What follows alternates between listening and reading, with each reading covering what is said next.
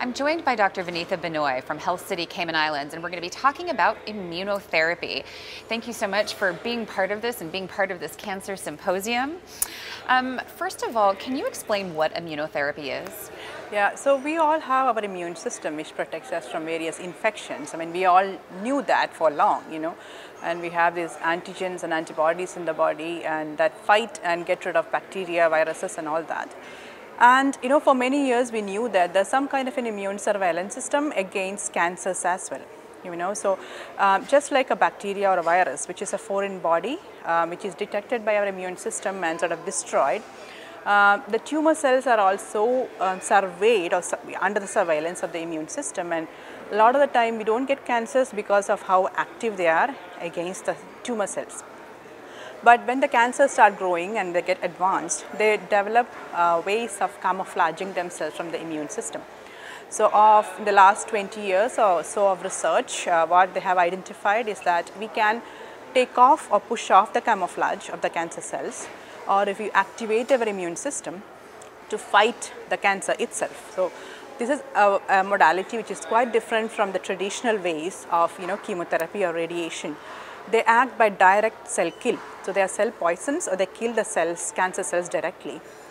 But this is a different way of fighting the cancer by making our immune system fight the cancer and kill them. So there are various modalities, but quite a few of them have come um, to the limelight lately and they're blockbuster drugs in its real sense because we find such amazing results for a lot of advanced cancers. For example, lung cancer, melanomas, advanced stage 4 they have sort of revolutionized the treatment and now patients are living longer, unprecedented results in some advanced cancers with immunotherapy. So um, for three consecutive years, the American Society of Clinical Oncology, which is ASCO, has named immunotherapy as its cancer advance of the year.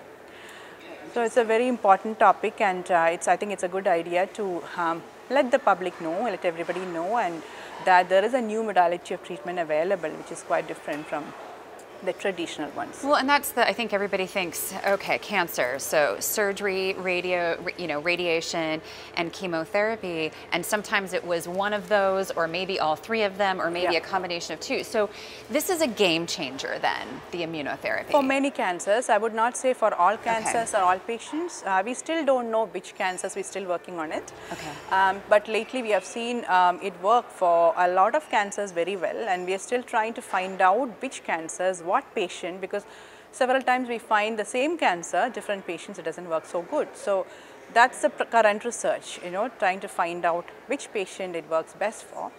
But definitely, especially lung cancer, I would say it's a game changer. And we have been giving immunotherapy here in the Cayman Islands for four years about. And we see such fantastic, you know, unexpected, maybe miraculous results in a lot of advanced cancers. So particularly small cell lung cancer, is that right? Both, both non-small okay. and small cell. It started okay. off with non-small cells, mm -hmm. but lately it's been approved for small cells as okay. well.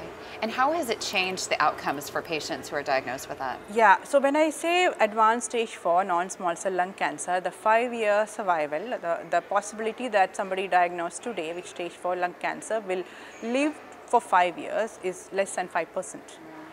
So the first year mortality is so high, it's about 60 to 70 percent and the average survival was about 9 to 12 months after a diagnosis.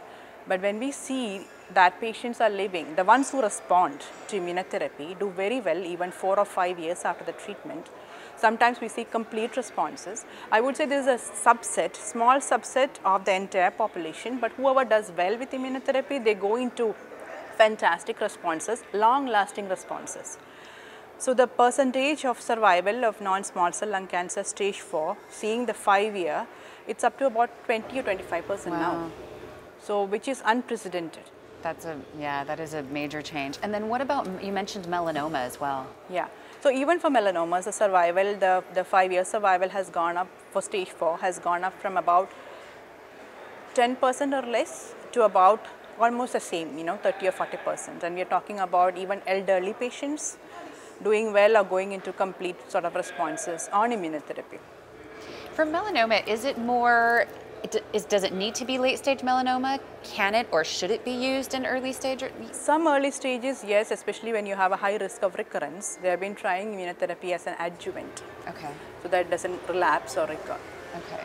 What do patients need to be aware of, or what questions should they ask, and how can they make sure that they're getting the best treatment possible? Yeah, so it's very important that they become their own advocates, you know. So it's important when you have a diagnosis of cancer or your loved one, you do some research um, on the, the, stage and type of cancer they have and please go to authentic sites only, not Dr. Right, Google. right, right. yeah, so we have some great websites like the NCI or the NHS or the cancer uh, uh, .gov, which is the ASCO site. So a lot of uh, authentic cancer related websites. So go up and you have all the information you need to know about the type of cancer the up-to-date information on the treatments available and I you know recommend everybody go through that and then come and ask your doctor questions and you're always entitled for a second opinion so that's also important you know to especially when you have advanced cancer or some rare type of cancer or something that is not standard.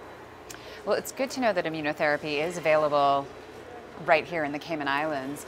And, uh, and it's important, we've talked about this with another specialist as well, you know, to be your own advocate and don't be afraid to ask those questions. Uh, thank you so much for sharing this information and um, sharing with us immunotherapy and what a game changer it can be. My pleasure. It's always very exciting. It's a very exciting time of the year to be here with the Cancer Society and its public health fair and all the other associated events. Always a pleasure. Thank you, Dr. Vineetha.